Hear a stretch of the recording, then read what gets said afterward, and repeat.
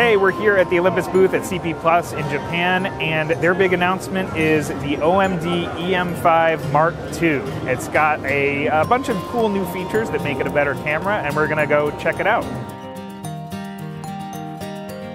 The original EM5 was Olympus's first OMD camera, so this update has been anticipated for a while. And when looking at the updates individually, they may sound subtle, but they add up to make a strong improvement to an already great camera. The biggest update is stabilization. The EM5 Mark II has an improved 5-axis in-body image stabilization that, combined with the 16-megapixel image sensor, allows you to stack multiple shots at once in order to create a single 40-megapixel image.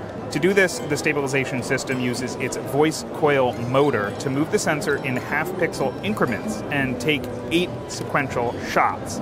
Those shots are then combined into one large picture. You do need a tripod to do this, and your subject needs to be very still, but the feature is still rather impressive.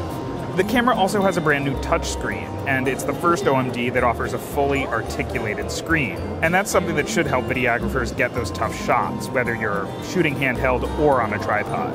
Also for video shooters, the EM5 Mark II offers a 1080 60 frames per second mode, and it has bitrate options that go up to 77 megabits per second. So there are a lot more video recording options than you got with the original EM5. There's also a mic jack, focus peaking, and the option of a headphone jack if you buy the separate HLD 8G grip accessory.